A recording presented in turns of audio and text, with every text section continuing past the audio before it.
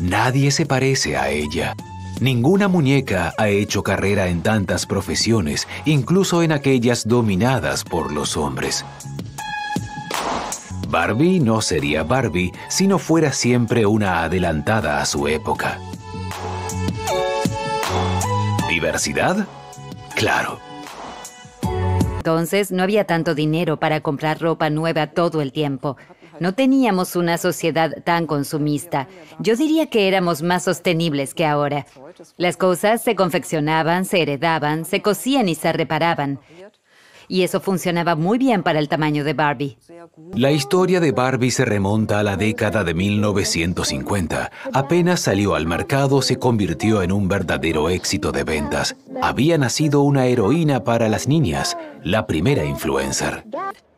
Estoy delante de nuestra línea Fashionistas, que es la línea de muñecas más diversa del mundo. Creemos firmemente en el lema, si puedes verlo, puedes serlo. Celebramos que Barbie haya tenido más de 250 carreras. Ella puede hacer cualquier cosa, lo que significa que tú también puedes hacer cualquier cosa cuando crezcas. Así pues, estamos muy orgullosos de la forma en que la marca representa modelos tan positivos para las niñas.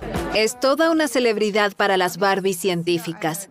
Se trata de Jane Goodall, una investigadora que estuvo toda su vida estudiando en qué se parecen los simios a los humanos, cuál es nuestro parentesco y cómo viven los grandes simios. Es un modelo a seguir y las niñas pueden jugar a ser investigadoras. Jane Goodall realmente cambió cómo entendemos las selvas tropicales, hogar de los grandes simios. El otro modelo a seguir, y creo que es realmente importante, es las Barbies astronautas.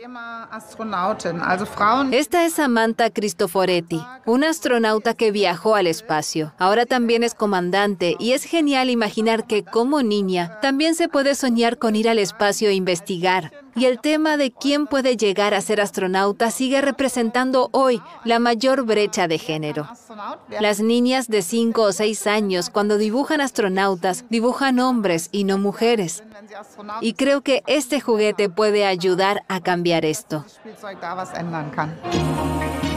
Algo de lo que no se puede acusar a Barbie es de conformarse con ser ama de casa. Desde el principio, Barbie es una profesional en el mundo de los hombres, como astronauta,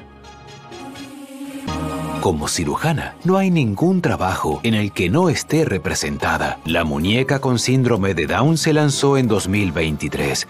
Sin embargo, hay que fijarse muy bien para darse cuenta. Me encanta. Cuando vi la Barbie, pensé, ¿qué diablos? Me sentí un poco abrumada y conmocionada. Luce glamurosa, hermosa, linda y encantadora. Y es perfecta, como yo. The only decision I've actively made for this 4th of July is to get Star Spangled hammered. Uh huh. Can we go home early? Like now? Suck it up, Skipper. Sometimes you gotta do stuff you don't like in order to make people think you're a nice sister. I don't care about looking nice. Yeah, I got that from your outfit. Hi, Ken. Oh, hello. I thought I heard your voice. Did you? Yeah, see, I was just in the bath, Uh-huh. naked, Right. lathering the curves of my body. Good God. And you know what I was thinking? No, please, God, tell me. I was thinking that I would much prefer if you were there with me in the bath, Right. naked, Yes. lathering the curves of my body. Skip, can our discussion wait a little bit? Your mom wants to have sex. Thank you. See, more or less explicit, never said it directly. He still got it.